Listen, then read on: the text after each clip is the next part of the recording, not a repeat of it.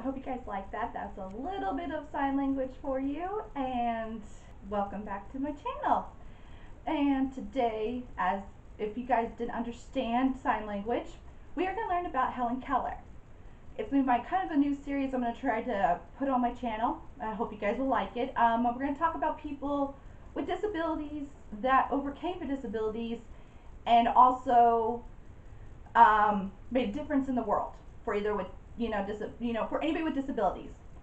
Um, and also it's going to be either it can be a real life person or it can be a fictional character because sometimes people get ideas from fictional books like characters and stuff that had disabilities. It kind of gets your mind working because it's even that author got you to start thinking like if you had a disability thinking like well if this character in this thing in this book can make overcome something why can't i overcome something so we're going to kind of i'm going to kind of try to do a little bit of people with disabilities, doesn't matter what kind of disabilities they have, and put them in the light and to show that they were the best people, you know, that helped change them to become people like us in the normal society. And so, and today is Helen Keller's day because so far she's kind of like the main, in some ways, the main person that started the movement, like really movement, I guess. You know, I know it's hard to say but as I could say, um, Helen Keller is really awesome person. I enjoyed her. I mean, I loved her from the first time I saw, like, I learned about her actually, and she's like the best thing in the world. And people don't. Some people do know about her because her stuff became more, you know, known because she has a play about her. She has a movie about her. She has a lot about her. But you know, I thought for people that don't necessarily know anything really, really about her, we're gonna I'm gonna at least give you an insight on Helen Keller's life. So sit back, enjoy, maybe have a snack, maybe have a drink, because this could be a nice little history lesson. So let's get started, guys. Um, Helen Keller was born June 27, 1880. She was a healthy baby girl, you know, normal as ever. She, you know, basically what you would probably consider like with anybody's kids you think it's like the perfect baby in the world you know? With anybody you know having a kid. I mean it's kind of a given because it's your kid. So you think you know nothing's wrong. But but she was a really you know happy baby. She um at six months old she learned to talk which that's kind of amazing. Like she you know gave out words and stuff. And by one years old she was walking. So you consider she was so you're asking me what's the difference? Why does she have why does she has a disability? Good question, right? Well, at age two, she um, contracted um, a fever, but people think it's either like she had meningitis or I think it was the scarlet fever, but they call it like it was like just a fever to them back in the 1880s. So, and she overcame it, but it left her deaf and blind. So let's just say at two years old, she was deaf and blind. So can you imagine being a two year old or just being a kid in general with both both disabilities of being blind and deaf? That would be hard. You couldn't communicate with the world. And like I and I think with that fever too, it her um, speech got messed up too. I'm assuming because she like oh well not really messed up, but she just didn't know how to explain. I I don't know. I think when you're at two, you know, because I think it's about like two or three. I, I don't quote me on this. I, but around that time, that's when you start making sentences. So I don't know if any of that, you know, because since she was so basically out of the world, you know, from everybody. Like she didn't know how to communicate with anybody, you know. She could probably say something, but she couldn't. Because when we talk, guys, we can hear our kind of like hear our voices. So like if you cover your ears and start talking, it sounds so like you could just it'd be hard, you know? So you're not for sure if you're sounding right or not, you know, or even if you're yelling or, you know, stuff like that. Well, just because of that, she became a very unruly child. So she got, you know, she she was basically running the household because, you know, of her mother and father because they didn't know how to um, to really communicate with her, to show her dis, you know, all that stuff, discipline and stuff. So they were like really on their wits end with her until about um, let's see, when she was some years old. That's when help came arrived, and that's when her lifelong friend Anne Sullivan came into her life and really taught her how to communicate with the world. So it was a very long process. It wasn't just like, oh, a snap, she knows how to communicate. It took Anne Sullivan all her patience and stuff to teach this child how to communicate with the world. And, you know, and at one point, too, you know, because it was so bad at the household, because the parents, like, she knew, like, Anne, oh, not Anne, but uh, Helen knew how to control her parents, like, to give, like, make her, make them have pity on her. Well, Anne Sullivan sat there and said, you don't need to have pity on her. She needs to learn discipline. Like, she can't just give, get away with stuff. Like, you would see, if you ever guys watch, uh, I think it's the, um, oh, what's that movie called now? I'll put it down here if I can't remember. But in that, you see her like ruling everything. She just basically did never sat down at a table with any sword, nothing. She would walk around her table and eat off of her mom and dad's plate. Even her brother, I think there was a brother that lived with her. I'm not for sure. You know, it was just like a norm. Well, and Anne Sullivan saw like this is not right. She can learn to sit down at a table with her own plate and eat with a fork or spoon. Well, at one point she told everybody to leave the room and it took a good process of like two to three so from like breakfast until lunch it took that long just to get her to at least eat off of a plate with a fork and fork or spoon. So it was going to be a long process and then anne eventually sat there and said you know what guys? We need to just have our own space. Without you guys near at all. So anne found uh, a little like little garden cottage on their property because um, her fa- uh, Aunt Helen's father owned a plantation. So they made it sound like, you know, like take Helen for a ride. She won't know where she's going. So make her feel like she's in a different town, even though she's still on the same property. So the parents did that, brought her in, and then Anne specifically said, I need you guys to leave and never show your presence. So they did that, and it took, and they had like, I think, agreement about like, it took about two weeks that she had to do something. Well, she did get some stuff done, like, and cause I mean, Helen could sit there at a table with, you know, all that, you know, with a fork, spoon, whatever, you know, have the manners. But she still could not grasp of words going with the object. It took a while, but like, um, and also, and this is how she communicated with her.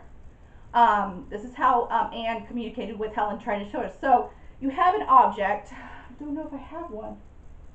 Um, let's see. I want to show you guys what I mean, guys. So you have this. I know it's not what they had back in the 1880s. So you have this, which you would consider a doll, right? So yeah. So there was actually a doll doll, and um, put this down. So you show the the the, the, the, she'll say the object. She have her hand place on the object, saying and but then she'll go on her palm like this and go D O L L doll and then put her hand back on the object saying that's doll. So that was like her first word she learned. So but that's how she learned was having her hand and having D O L L. So that's how it worked. But it took a lot. It, it, it I mean Helen wasn't grasping that until one magical day when um she was trying to act up again, like you know, like you know how childs are with tantrums, you know, or their parents are gonna try to test them, see if they still will give in to her, because that's when they came back to the big house and they were having a nice dinner and all that, and but she started being unwilling, so she threw, she dumped the um, water on Anne, but Anne, you know, didn't do anything, but people were like, this is you know, the parents were all going off all on her, but she says, you know, and they're like, where are you taking her? She's like, well, she's gonna learn how to fill, the, we're, we're gonna refill this pitcher. So they went out to the pump, you know, and she was doing her thing and saying that, but then all of a sudden it was like a click of a light bulb. Uh, Helen got the grasp of water because she felt the water and then she actually spilled it. And that was so amazing. And on that particular day, she learned 30 words in just one day. So you can say she overcome everything. So after all that, Anne became her permanent partner not like in a love way, guys, so don't, don't go there, but like a partner to help her with everything. and went with her to school. She graduated from high school. Well, probably what we call high school, but it's probably called something else back in that time period. But she did that, and she actually did go to college, guys. What an amazing thing that um, Helen got to do. She graduated from college with Anne's help, you know, because Anne helped her with her lessons, you know, telling her how to do stuff. So it was really kind of a cool thing. And then after the fact of college, she, I don't know if it was during college or after college, but she did write her own autobiography. She learned how to use a typewriter, which is really kind of cool, guys. I think that's like awesome.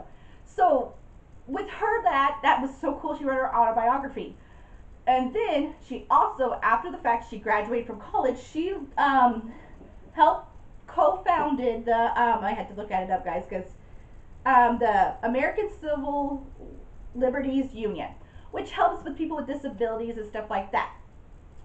So, um, so yeah, we, we had like a lot with her. And, you know, so this partnership with um, Anne and Helen were so, for 49 years, they were a good partnership until, uh, I think it was, when, what was this? In 1930, until 1936, Anne Sullivan um, passed away. And um, it really kind of, you know, it was a big thing. But then there was this one person named Polly, I think it's Polly, Polly Thomson, who was the secretary for Anne and um, Helen for so many years, became her partner up until um, up until 1961. Um, Helen started to um, go ill. She started having strokes and stuff, and so she ended up um, staying at her Connecticut home. She lived in Connecticut for the remainder of her life. And so she received a lot of honors through her lifetime and rewards and all that because of what her courage and everything. Because she talked about it all the time about, you know, people with disabilities to, you know, have, have rights. But with the help of um, Eleanor Roosevelt, that was made possible. And so, um, so she had the help of the uh, First Lady Eleanor Roosevelt to help pass a law about having people with disabilities have some rights. You know, that they're people too, they're not just, you know, because back in those days, people were in asylums. And if you ever guys ever looked at an asylum back in the days, they were the worst places to be for people with disability. And most of those people with disabilities were smart. So I guarantee you there was people with autism back in those times, and people didn't know how to handle it so, um, so it was kind of like they were probably the smart ones out there, but but they could not know how to communicate. So when people did that back in the day, they were the worst places. They treat them like like they were animals. They weren't people. So basically, I mean, the silence were still around, but the people got a little bit more of a rights. Like they were treated a little bit better. But I mean, there was still some stuff you know people still did. But all in all, guys, if you ever ever looked up on asylum, and I guarantee you, you would be more open-eyed to how they were treated, even though they were not doing, even if they were not doing anything wrong. Or if they did act out, it's because of, you know, they don't know how to communicate with you. So I suggest you guys take your time with people in your own community, with people with disabilities. Give them the time of day.